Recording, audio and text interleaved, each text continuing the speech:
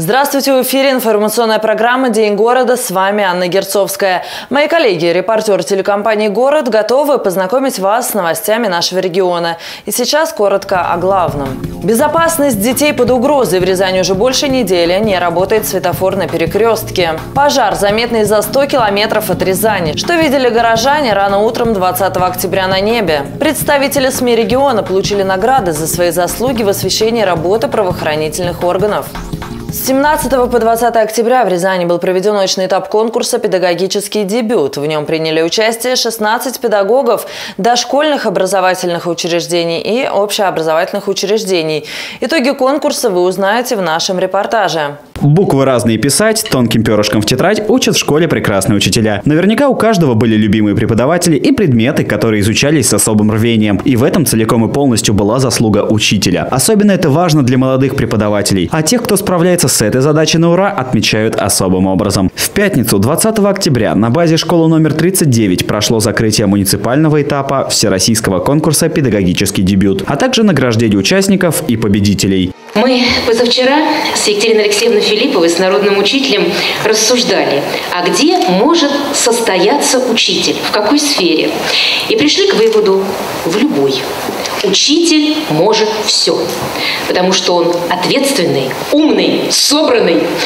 Дорогие ребята, вы, конечно, можете состояться в любой сфере, но как же хочется, чтобы вы остались в профессии.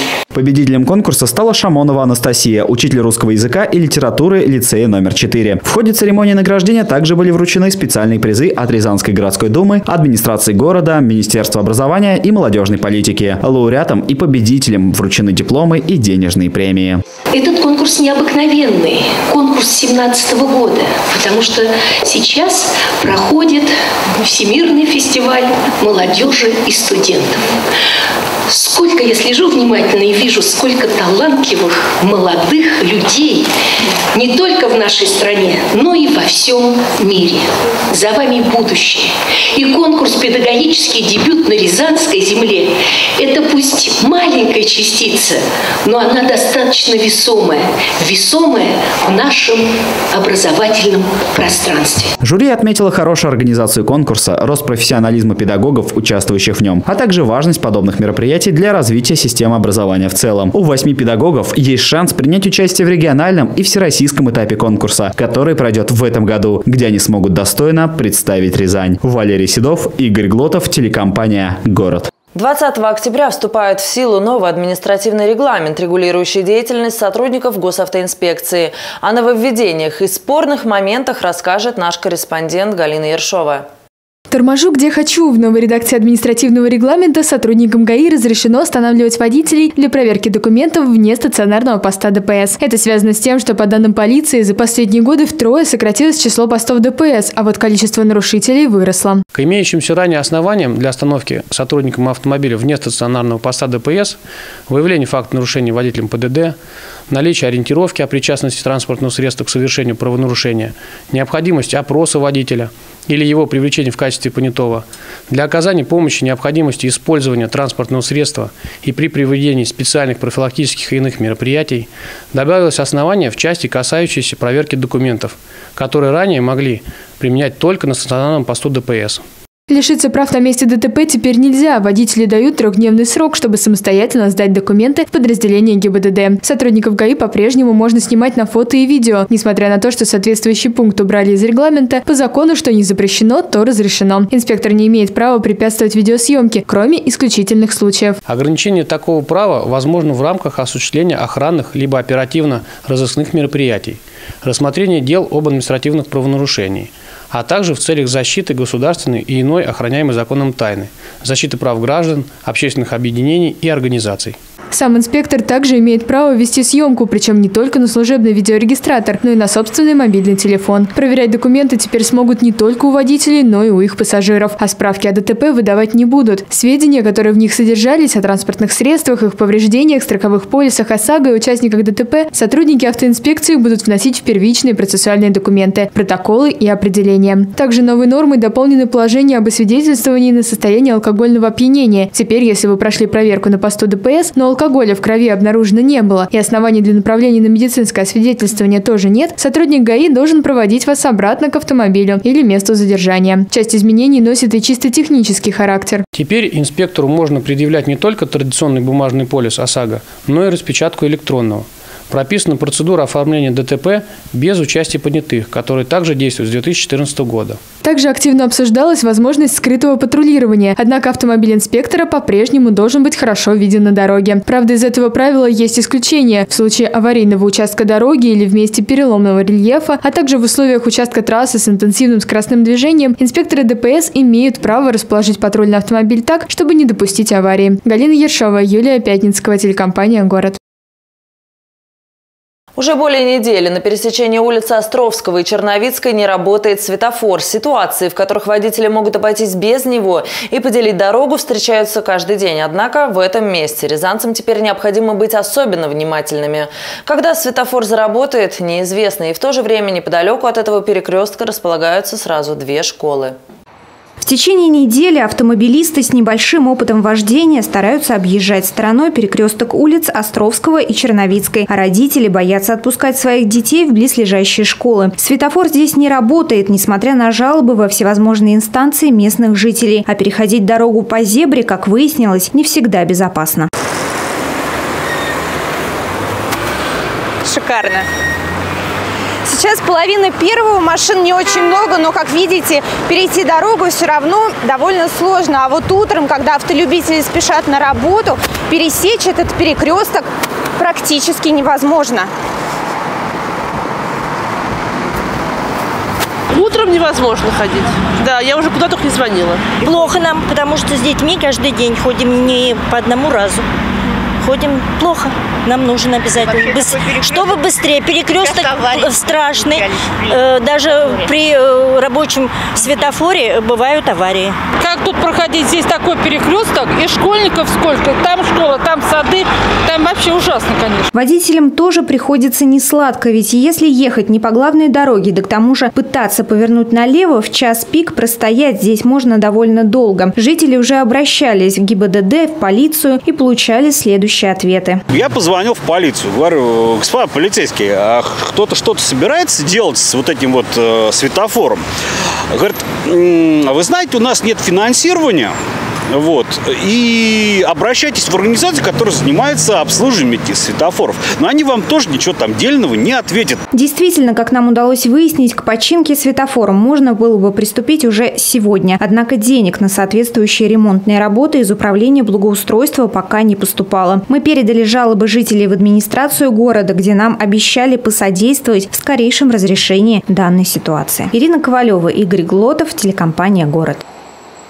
В Рязанском регионе продолжают проходить учения МЧС. На этот раз вновь были отработаны основные мероприятия, направленные на тушение пожара при его возникновении на природе. Ведь все мы помним пожары 2010 года и понимаем, насколько важно уметь взаимодействовать и организованно работать при таких проблемах. На этот раз импровизированный пожар произошел в Кадаме. Целью масштабных учений с водной мобильной группировки являлась отработка взаимодействия при тушении природных пожаров между сопредельными подразделениями подразделениями, в которые входят подразделения Кадамского, Петелинского, Ермишинского, Сасовского, Касимовского и Шацкого районов. Тренировка прошла в штатном режиме. Все участники тушения показали свою подготовленность. В учениях было задействовано 57 человек и 22 единицы техники. Многие рязанцы 20 октября с утра были удивлены. Рано утром, еще на темном небе, они обнаружили зарево. Яркое красное пятно, как позже выяснилось, вызванное ничем иным, как пожаром. Оказалось, в Луховицком районе Подмосковья у населенного пункта Красная пойма произошел прорыв газопровода, после чего начался пожар. Огненный фонтан достигал 20 метров в высоту. К настоящему моменту пожар на газопроводе в Подмосковье потушен. Сообщение о возгорании на газопроводе поступило в Центр управления кризисных ситуаций областного областного МЧС в 6.25 утра. Стоит отметить, что несмотря на всю очевидность чрезвычайной ситуации, никто не пострадал. Единый портал государственных и муниципальных услуг создан с целью упрощения процедуры получения различного вида государственных услуг, предоставляемых органами исполнительной власти Российской Федерации, в том числе Федеральной налоговой службы. Регистрация на портале госуслуг позволяет, не выходя из дома, получить различные государственные и муниципальные услуги в единой точке доступа. Обо всех инновациях расскажет Валерий Седов. В наше время компьютер уже не роскошь, а жизненная необходимость. Практически не существует дел, которые нельзя было бы решить с его помощью. Компьютер может помочь и с бюрократическими проблемами. Так, например, можно оплатить госпошлину, не выходя из дома, да к тому же получить заметную скидку. Через ресурс государственных услуг можно зайти в личный кабинет, проверить свою задолженность по налогам, узнать свой ННН, подать налоговую декларацию, зарегистрироваться как индивидуальный предприниматель или юридическое лицо и так далее. В личном кабинете портала госуслуг хранится вся информация по заказанным услугам, обращениям, платежам. А также можно настроить уведомления, следить за ходом рассмотрения заявлений и статусом платежей рублей. Сейчас появилась новая госуслуга, которая оказывается инвалидом. Выдача паспорта на дому. Среди населения города Рязани проживает немало граждан с ограниченными возможностями, которые не всегда самостоятельно могут обратиться в подразделение по вопросам миграции с заказанием государственных услуг по выдаче и замене паспорта гражданина Российской Федерации, а также постановке и снятия с регистрационного учета. В связи с этим Среди оказываемых нами государственных услуг предусмотрен выезд на дом с последующим принятием документов, их оформлением и выдачей владельцу. Так, сотрудниками отделения по вопросам миграции в кратчайшие сроки был оформлен паспорт гражданина Российской Федерации Антошиной Татьяне, 1930 года рождения. Свой прошлый паспорт она потеряла, и ей вручили новый. При этом женщина не приложила никаких усилий. Желаем вам здоровья, больше паспорт старайтесь не терять. И это не единственная инновация. В 2018 году портал госуслуг перейдет на идентификацию по голосу. На международном форуме открытой инноваций об этом рассказал заместитель министра связи Российской Федерации Алексей Козырев. Он пояснил, что в следующем году полноценно заработает сервис биометрической самоидентификации, который сможет распознавать человека по лицу и голосу в системе оказания государственных услуг Российской Федерации. Щит и перо. Конкурс представителей СМИ, которые освещают работу полиции, подошел к концу. Сразу двое журналистов нашей телекомпании стали лауреатами и получили высокие награды из рук временно исполняющего обязанности руководителя МВД России Рязанской области. Диплом первой степени получила и Марина Комиссарова, которая продолжит выпуск.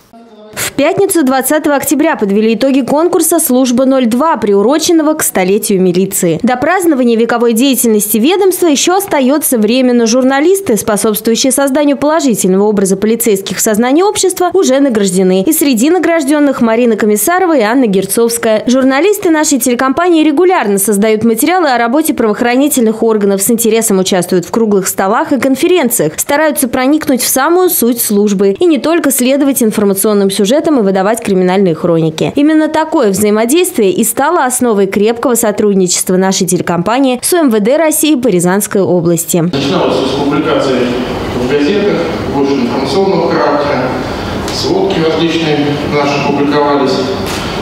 Э, в текущем году, например, уже более 10 тысяч публикаций в средствах массовой информации и сети интернет было осуществлено почти тысяча Э, выступлений на радио.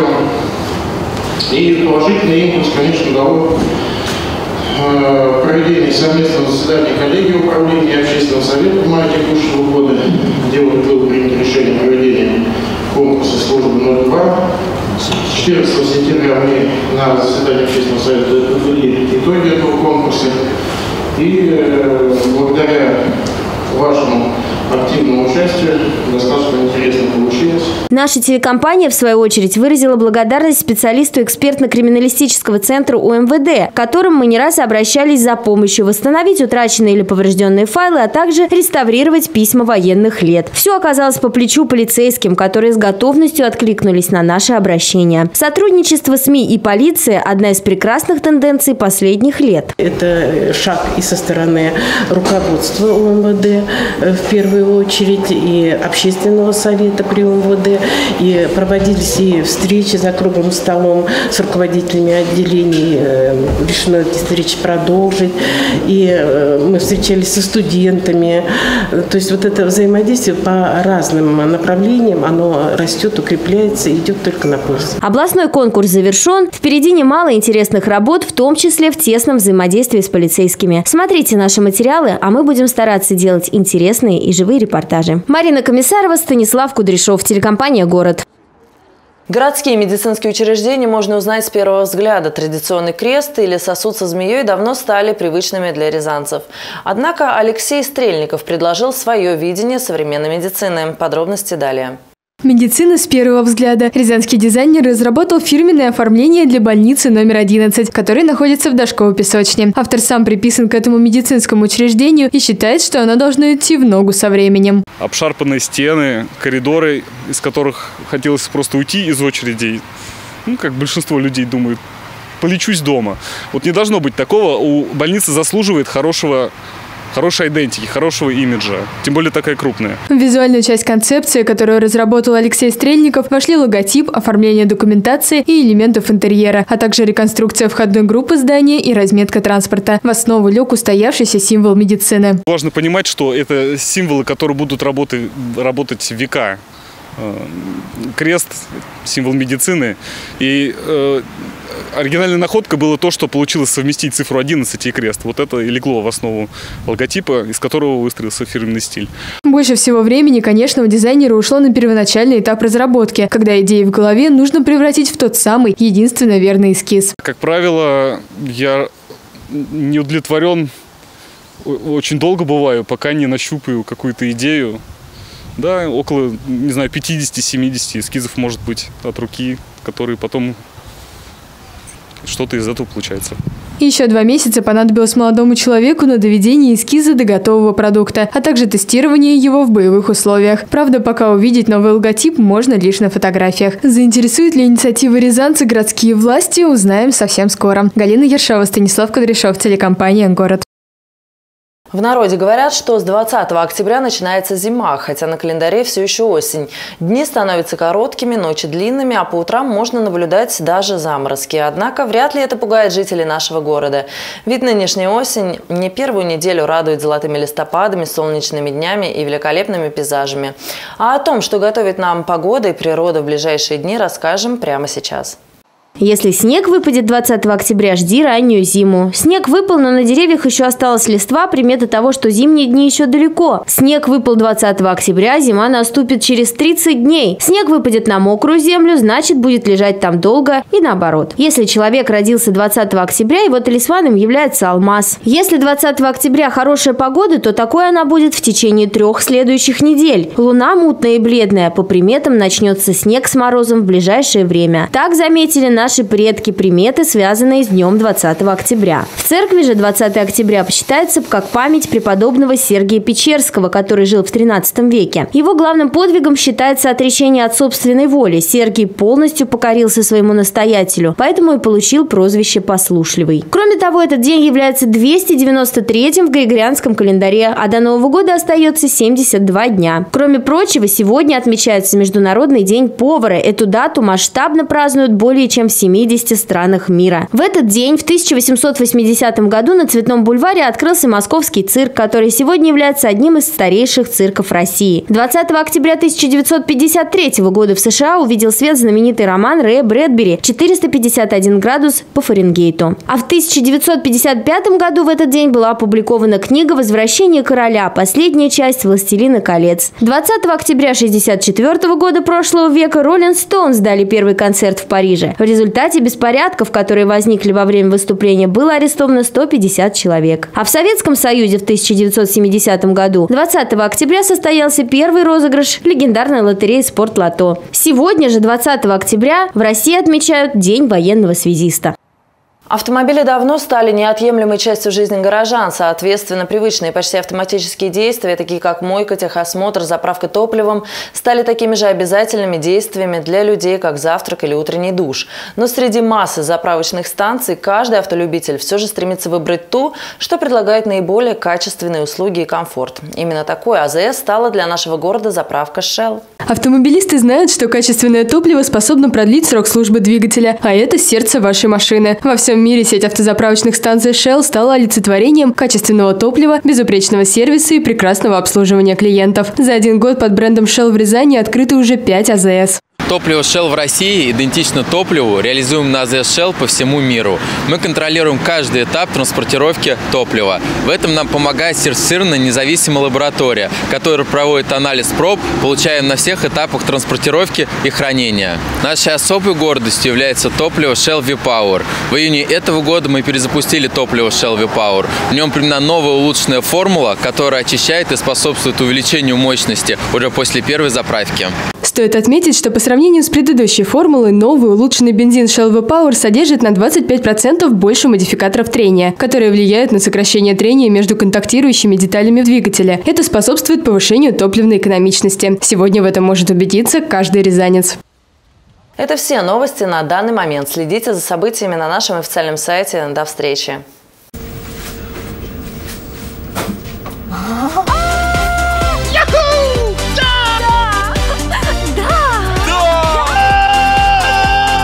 Это случилось! Обвал ипотечных ставок. Квартиры за 5,6% годовых. Только в компании «Зеленый сад» совместно со Сбербанком России и Рязанским ипотечным фондом.